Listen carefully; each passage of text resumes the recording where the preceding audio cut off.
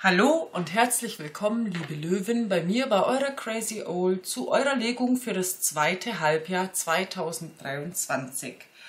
Wie ihr wisst, handelt es sich bei mir immer um eine allgemeine Legung, das heißt, die Legung kann mit dir in Resonanz gehen, muss es aber nicht. Diese Legung ist zeitlos, auch wenn ich sie jetzt für das zweite Halbjahr definiert habe oder festgelegt habe, in Anführungsstrichen. Zeit ist fließend und wenn dir die Legung zu einem späteren Zeitpunkt vor die Füße fällt, hat sie vielleicht eine wichtige Botschaft für dich im Gepäck. Rollen können vertauscht sein und du schaust diese Legung bitte immer in deiner eigenen Verantwortung und wenn es nicht deine Legung ist, dann mach's auch nicht zu deiner. Diese Legung ist jetzt für alle, die als Standzeichen den Löwe haben, im Mond, Venus oder Aszendent den Löwen haben. Genau, wir haben hier mit den Orakelkarten und einer großen Arcana-Karte sozusagen die Überschrift für eure Legung, worum geht es. Und dann haben wir sechs Reihen für jeden Monat des zweiten Halbjahres, also Juli, August, September, Oktober, November, Dezember. Ich zeige euch ganz kurz die Kartendecks. Wilma ist natürlich auch am Start mit welchen ich heute diese Legung gemacht habe. Wir haben diese beiden Orakelkarten, dann haben wir diese Orakelkarten und aus dem Arcanum Tarot die großen Arcana für die Überschrift der Legung und als Tarotkarten habe ich mit diesen Decks hier gelegt dass ihr die gesehen habt. Äh, und natürlich gibt es für euch, liebe Löwen, auch am Ende eine Faol-Rune für euch dazu, welche euch für das zweite Halbjahr begleitet. Genau, Infos zu den verwendeten Kartendecks und unseren Runen findest du wie immer unten in der Infobox. Dann legen wir mal los und schauen wir mal, was das zweite Halbjahr für euch, liebe Löwen, bereithält. Als Krafttier begleitet euch der Schwan. Anmut, Schönheit.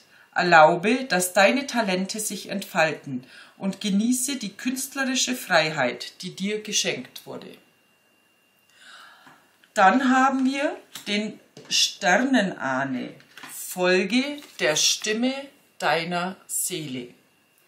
Und wir haben den Tempel des Waldes mit der Aussage Erleuchtung.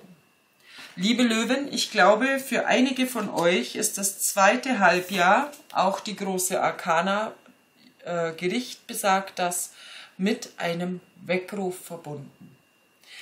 Vielleicht war es so, dass ihr in der letzten Zeit sehr mit Arbeit, mit Projekten befasst wart, sehr mit weltlichen Dingen befasst wart. Und hier haben wir aber sowohl mit dem Krafttier Schwan ja, und dem Aufruf, lass deine Talente sich entfalten, als auch mit dem Sternenahnen und dem Tempel des Waldes den Aufruf, dich sehr deiner Seele, deiner Seele zu widmen.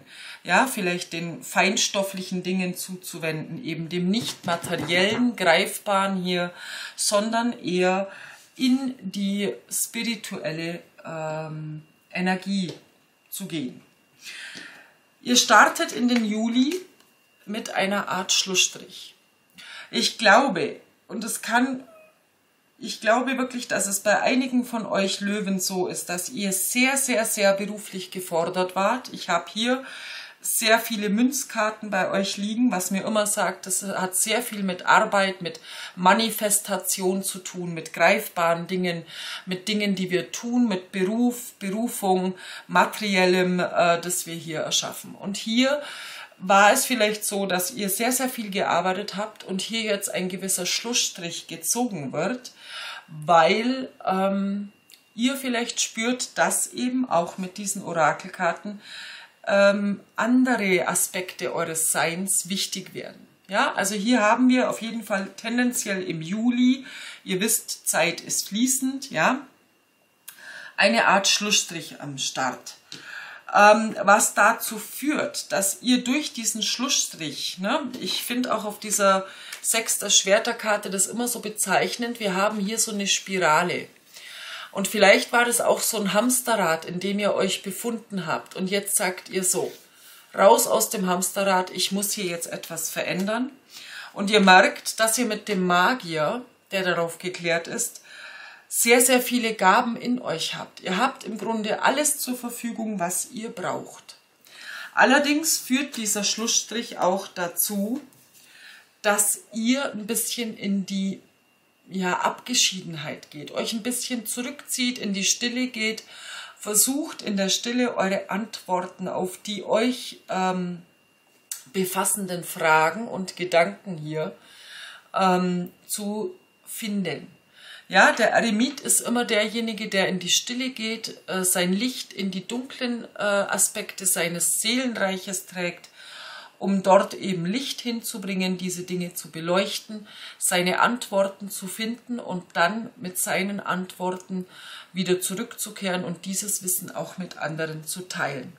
Und es gibt hier etwas, was hier mit den Neun der Schwertern so ein bisschen ein Gedankenkreiseln ist, was euch vielleicht wirklich schon längere Zeit begleitet und jetzt mit dem Weckruf eben angeschaut werden will. Und die Neun der Schwerter ist aber im Aftertarot gefallen. Und ihr seht, normalerweise liegt hier eine Person im Bett und die neun Schwerter schweben wie so Gedankenkarussell über diesem Menschen und er kommt da nicht raus. Ihr seht aber hier im Aftertarot ergreift dieser Mann eines dieser Schwerter und fängt an, sich seinem Gedankenkarussell zu stellen.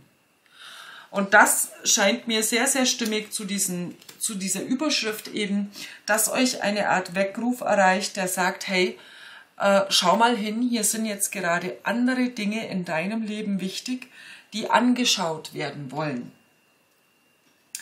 Und auch dann geht es im, äh, tendenziell im August wiederum mit dem Magier weiter. Ja, hier ist wieder der Magier, der dir immer noch sagt, du hast alles in dir, was du brauchst. Und begleitet von den fünf Münzen. Was auch immer hier äh, in deinem Lebensumfeld war, was dich so in diesem Gedankenkarussell gehalten hat oder ja, vielleicht war es wirklich die Arbeit, wo du sehr eingebunden warst im Beruf. Hier war wenig Wertschätzung für dich und mit den fünf Münzen hat dein Selbstwert gelitten. Und mit dem Magier bist du dann tendenziell im August eben daran, deinen Selbstwert hier wieder aufzubauen und ähm, auf dich auf selbst aufzupäppeln. Ja, das hat natürlich, ähm, wenn du hier so einen Schlussstrich ziehst, auch äh, einen Abschied schweren Herzens mit im Gepäck. Mit den acht der Kelchen hast du dich von etwas, das dir sehr, sehr wichtig war, was du emotional sehr geschätzt hast, hast du dich, davon hast du dich abgewendet.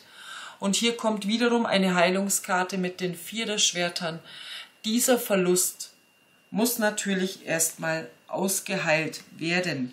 Und da wirst du dir vielleicht tendenziell im August wirklich so eine Auszeit nehmen, um an dir, an deinem Selbstwert, an deinem Selbstbewusstsein und an deinen Abschiedsschmerzen eben beständig mit dem Ritter der Münzen zu arbeiten. Im September kommst du dann gestärkt, also tendenziell September, ne, gestärkt wieder mit der Königin der Münzen. Das ist das Wasser der Erde. Weißt du, dass du ein gutes Fundament geschaffen hast, dass du, ähm, dass du auch wertvoll bist, dass du wohlwollend bist, dass du ein warmes Herz hast, und hier könnten wirklich für einige von euch Löwen tendenziell im September auch weitreichende Entscheidungen in der Liebe fallen.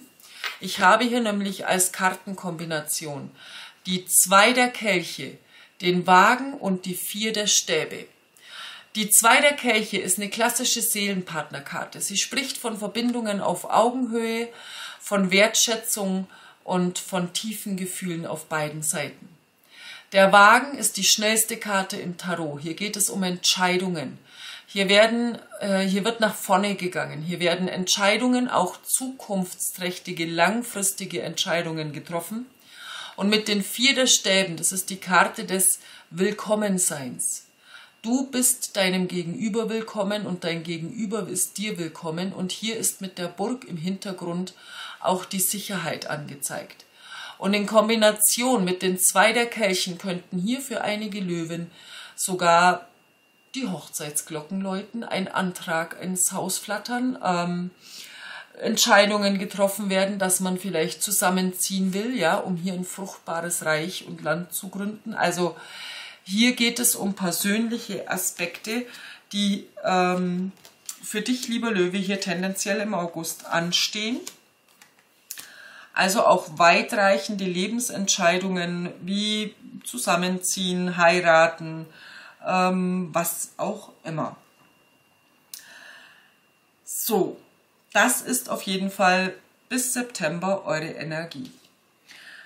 Im Oktober seid ihr dann dabei, dass ihr mit den acht der Münzen euch ähm, vielleicht auch, wenn hier diese weitreichenden Lebensentscheidungen gefasst werden, ihr euch in bestimmten Bereichen noch fortbilden werdet oder weiterbilden werdet. Mit den acht der Münzen, das ist die Karte der Meisterschaft, des Meisters, ja, also hier wird an etwas gearbeitet, wo man sich weiterbildet, besser werden will, professionell äh, seine, sein Wissen äh, vermehren will.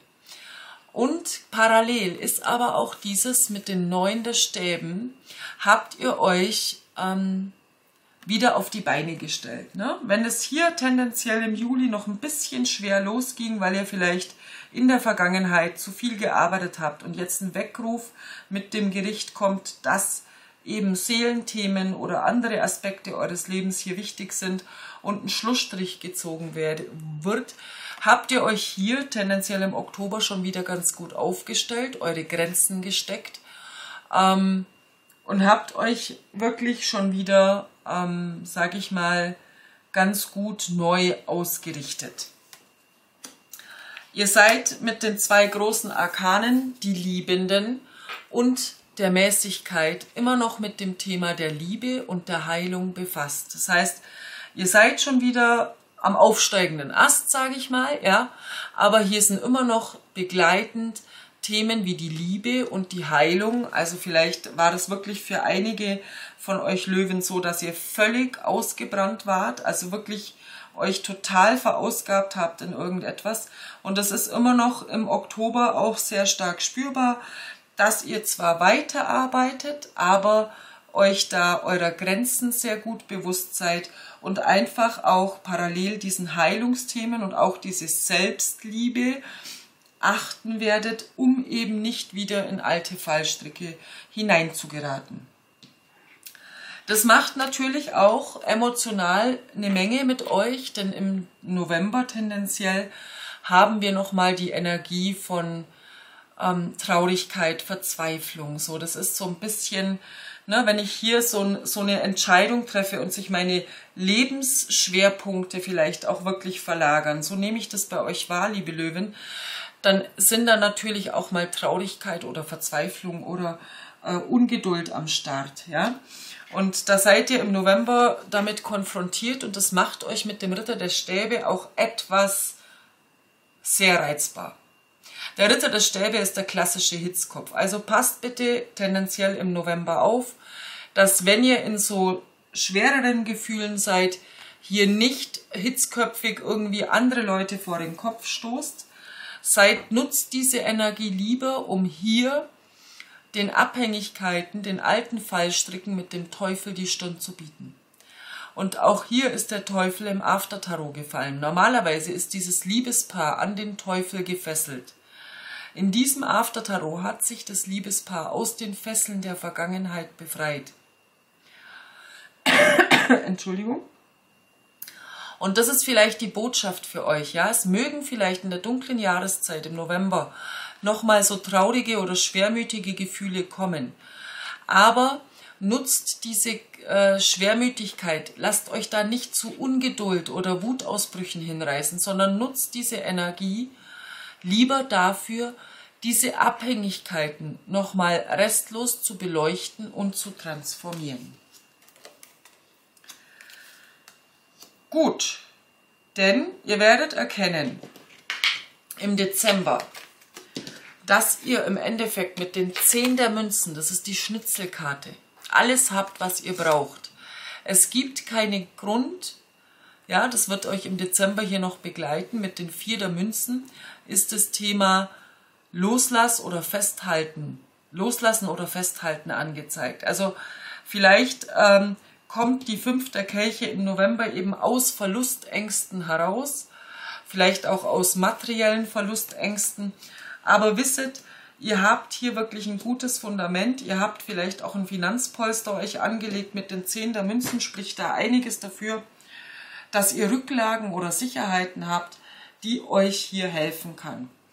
Und da endet dieses Jahr wieder mit dem Gericht, wieder mit dem Weckruf.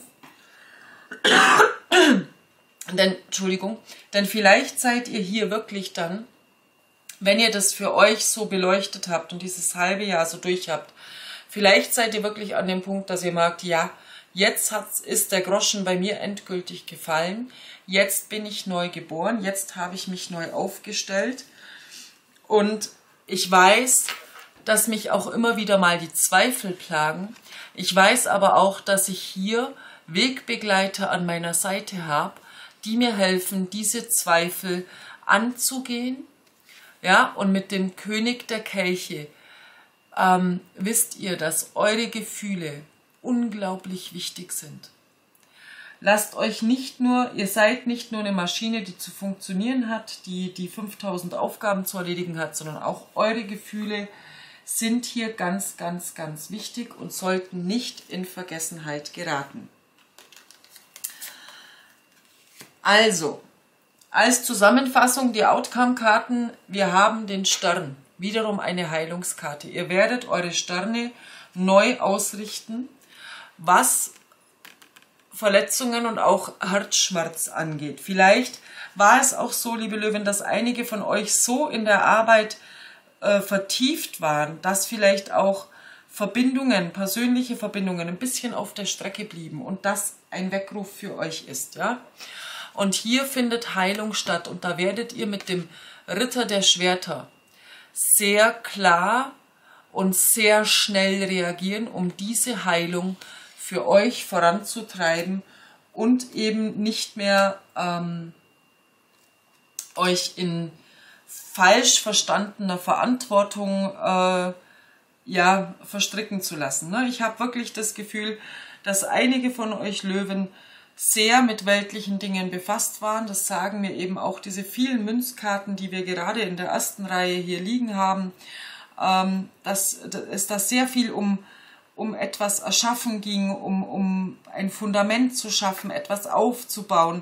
Und ihr habt euch da, glaube ich, ein Stück weit verausgabt und vielleicht auch eben das Schöne des Lebens zu genießen und auch eure Kreativität, ne, dieses Künstlerische. Also wenn ich immer in so einer Beschäftigung bin, dann ist es ein ganz wichtiger Aspekt, dass man manchmal auch in das Wort Langeweile, in die Energie der Langeweile hineinkommt. Wenn ich immer in einem Beschäftigungsmodus bin, kann keine Kreativität fließen. Denn Kreativität entsteht oft in so einem Feld der Langeweile. Wenn wir uns das Wort Langeweile anschauen, liebe Löwen, ist es das Wort eine lange Weile. Und wer hat heutzutage noch den Luxus der langen Weile? In dieser Langeweile, wenn wir diese Langeweile wirklich annehmen und als Geschenk verstehen, können nämlich unsere ureigenen Gaben, ne, die künstlerischen Gaben, die, dir, die in dir wohnen mit dem Schwan, die können in der Langeweile nämlich sich überhaupt erst melden. Ja, die können nach oben steigen und dann siehst du auf einmal etwas und denkst dir, wow, daraus kann ich das und das machen und da bin ich jetzt, da kann meine Kreativität fließen und ich kann schöpferisch tätig sein. Und das ist so ein Aspekt, glaube ich, mit dem ihr Löwen in diesem zweiten Halbjahr befasst seid. Und das eben auch im Einklang mit eurer, mit eurer äh, Seelenstimme, ja, was flüstert euch eure Seele? Und hier eben auch diese Langeweile vielleicht zu nutzen, um hier auch Erleuchtungsmomente für euch zu erfahren. Ähm, ja, platt gesagt wäre es das Thema Work-Life-Balance aber ich glaube, bei euch geht es noch ein Stück weiter, dass ihr wirklich diese, diesen schöpferischen Funken in euch wieder wirklich lebt und auslebt. Schauen wir mal, welche Rune begleitet denn die Löwen in diesem zweiten Halbjahr? Welche Rune, da habe ich sie, ha, ha, ha, ha, ha. die Fehu. Die Fehu ist das Feuer. Das ist der schöpferische Funke. Ich habe es gerade noch gesagt. Hier ist die Fehu für euch am Start. Und die Fehu ist auch, ähm, steht für das Vieh. Das ist der bewegliche Besitz. Die Fehu spricht von innerem und äußerem Reichtum, von innerer und äußerer Schönheit. Und auch da, die Fehu ermahnt dich immer, wenn du Fülle in deinem Leben hast, sei dir bewusst, dass geteilte Fülle doppelte Fülle bringt.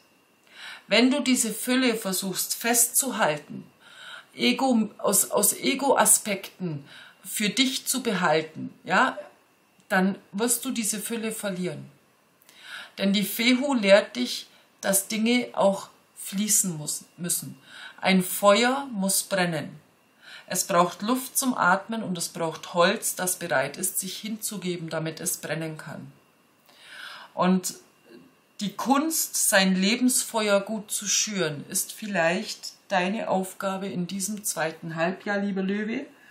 Ja, hier achtsam mit deiner Energie zu sein, mit deinem schöpferischen Funken, mit dem Reichtum, den du in dir trägst und den du in die Welt geben darfst.